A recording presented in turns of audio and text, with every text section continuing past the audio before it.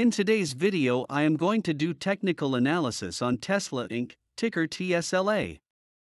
Tesla Incorporated designs, develops, manufactures, leases, and sells electric vehicles and energy generation and storage systems in the United States, China, and internationally. Here is my technical analysis. In the weekly time frame, we can see that the Tesla stock is following a downtrend.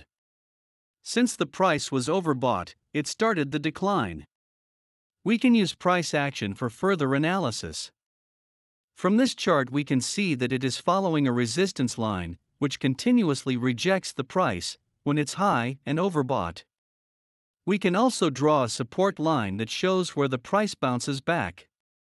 In this chart, we see a support line which makes sure the price bounces back from.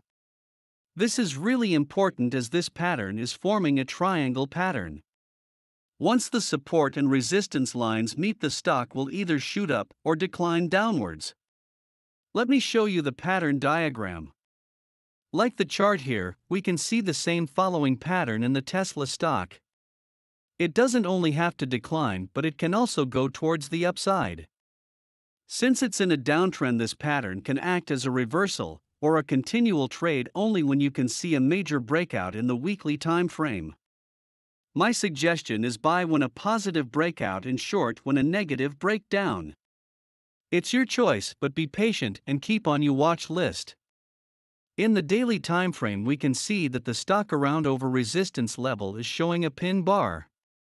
The resistance level is marked as the white line. This is a good indication that the stock will fall and bounce back from our support level, the yellow line. The difference is almost 120 plus points. If you want a swing or short term trade, then you can short at this point, but for traders' safety, you should use a confirmation of the decline and then short. One example for a confirmation is an evening star pattern. Looks something like this. The highlighted region in the chart here is the evening star. In the Tesla stock, we can already see the formation of the evening star.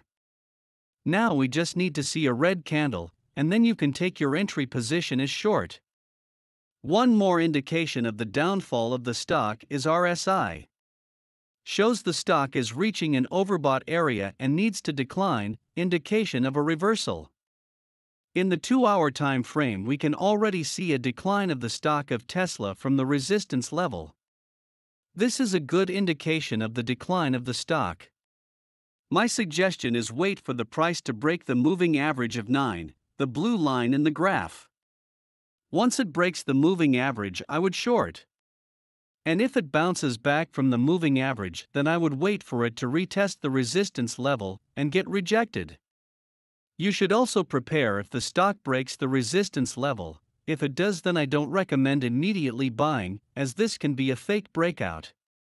If it retests and successfully uses the resistance line as a potential support line, then you can buy it, but it can be slightly risky.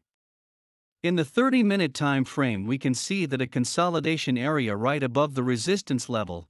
This is of course a fake breakout as in the higher time frames we can see more clarity of the support and resistance areas, that's why I always recommend before making your decision to trade based on a pattern, make sure to see the higher time frames. We can see the stock has broken the moving average of 9, so we can see a good short opportunity. But I would suggest doing a swing trade rather than an intraday trade, as intraday can be volatile. Based on today's daily candle, we can see if the chart is following an evening star pattern, then I would recommend a short, but wait for the daily candle to close and then trade as it is more safe and confirmed. I have given my thoughts so you can trade accordingly. But with the fundamentals, it seems like a good stock, which means it is less risky if you go long. Subscribe to my channel for more stock and crypto analysis and price prediction every trading day. Have a great one.